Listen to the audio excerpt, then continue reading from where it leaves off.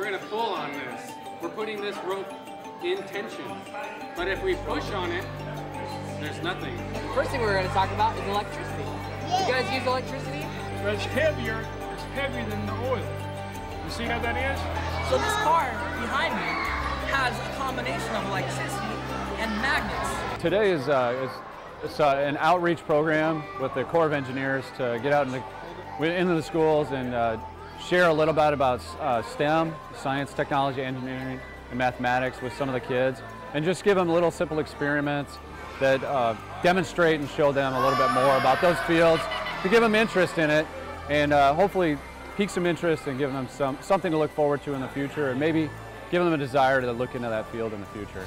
Well, they've got different things that are related to motors, we've got uh, some aerodynamics, some uh, strength of materials and tension, some liquid, talking about viscosity.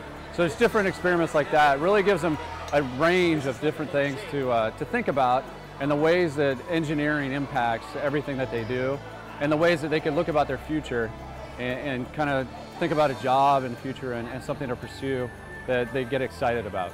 The kids have been very excited and, and uh, it's, it's very, it's encouraging to know that something that I have an interest in as well as the rest of the folks in the Corps of Engineers that uh, we're able to just bridge that gap with them a little bit and share something that, that we do every day is, is find engineering solutions.